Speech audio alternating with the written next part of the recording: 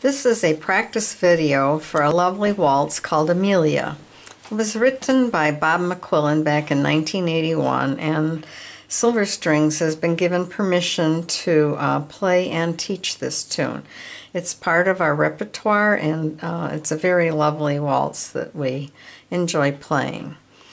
Uh, the tune is named after a um, daughter that of a fellow band member of Bob McQuillen's, and she was named after Amelia Earhart.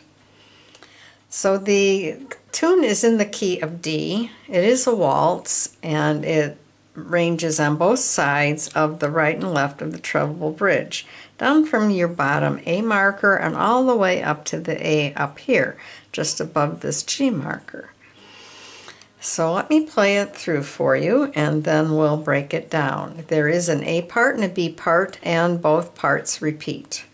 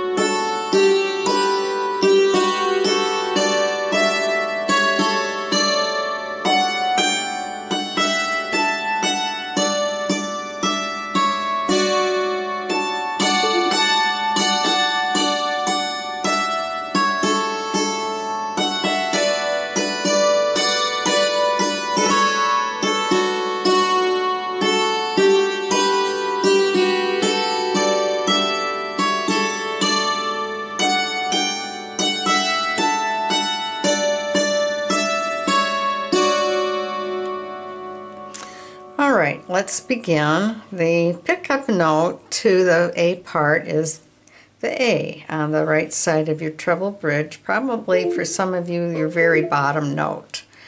And then it goes up to the D. And I use my right hammer for the pickup note and my left hammer for the D because of where the tune um, proceeds from there. So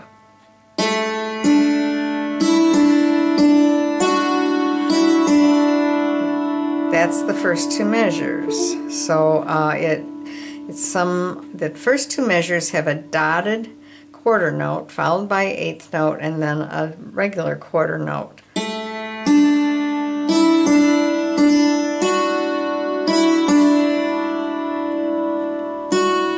Okay, let's do that phrase again.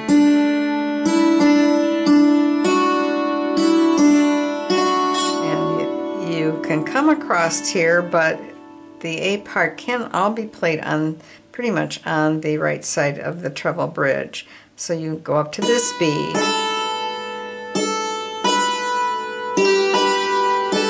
come back down to the D and the B.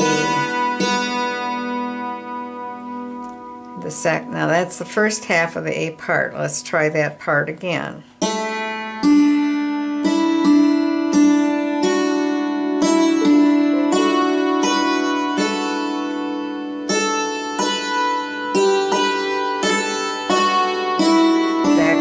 B and note where the measures that have a, a dotted quarter note.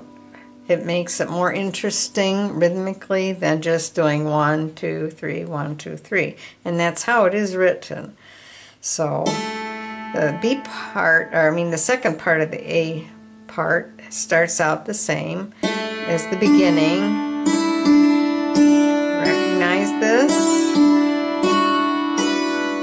Repeated. But now we have an ending um, to the A part. And so you're going to cross over to the ending to this side because we have a C sharp that we have to play.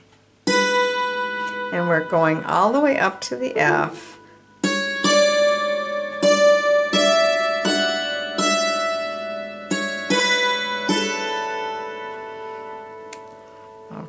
let's try that. So you're crossing over from this A down to the B over here. And then a dotted, that's a dotted quarter, and then the eighth note, and then we march all the way up to the F, come back, skip over that D with the eighth note C,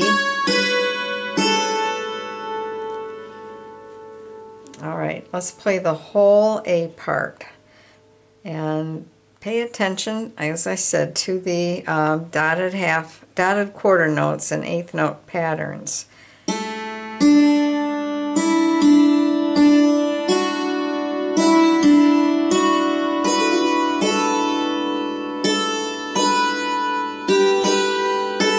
Come back down to the B next part starts the same as the first phrase.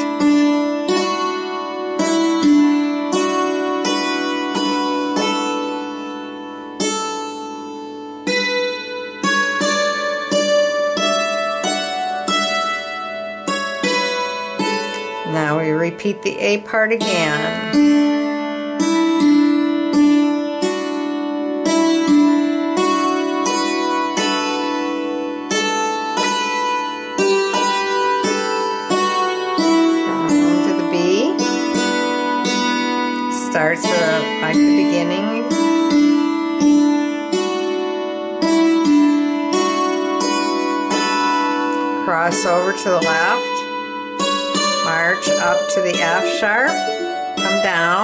Skip over that D. Alright, now we're ready for the B part. We move up to the A, which is one system above the G marker.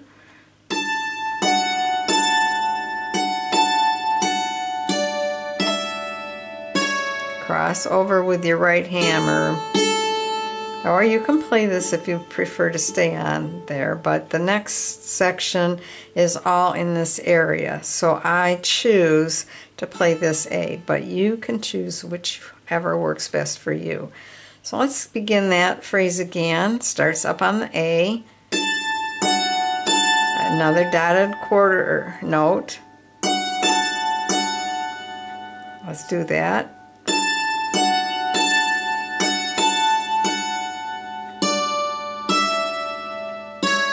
Right across. And come up with your left hammer. Let's do that phrase again before we do that.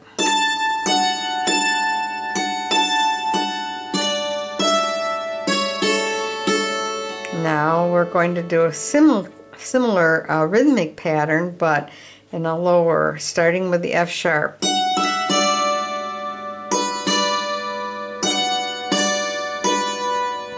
So left hand, eighth notes, D. You're just coming back and forth and your right hammer is come over here. Then you go back right across. And then move down one. C sharp.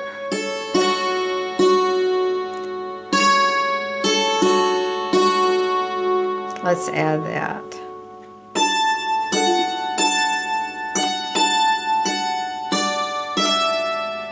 Cross over, come up with your left hammer,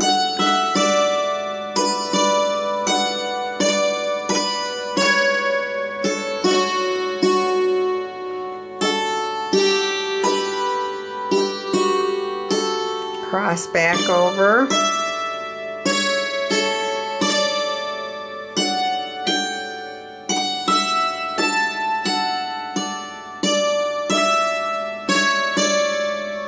and then we repeat it.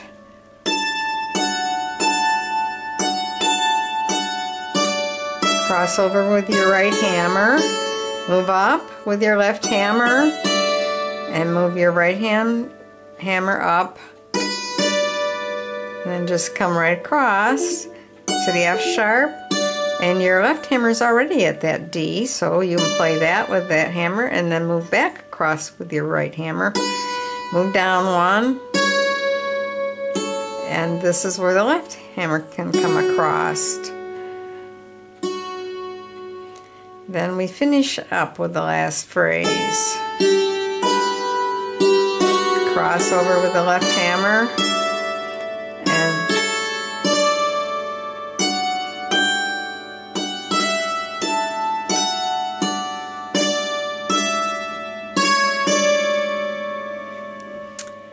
That's how the B part goes. Shall we play the whole thing through? It's a waltz, so it doesn't need to go real fast, but we'll try to play it extra slow.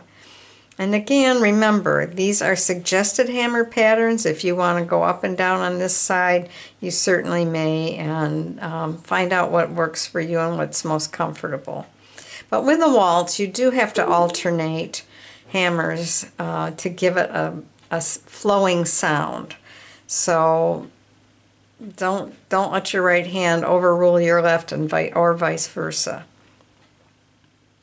All right, let's do it um, through very slowly.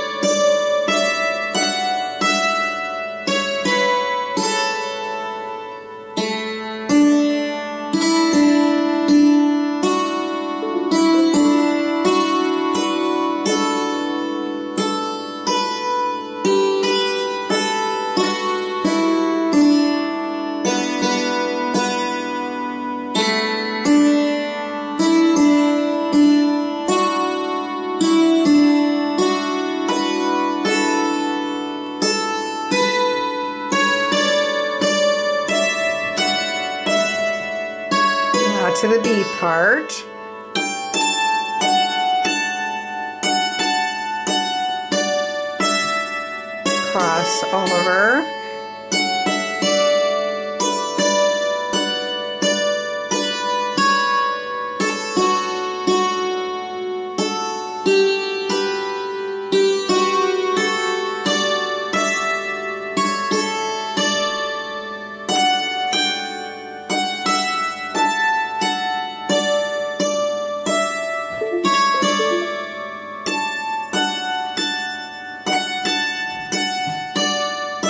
Cross over with your right. Left goes up. Move down.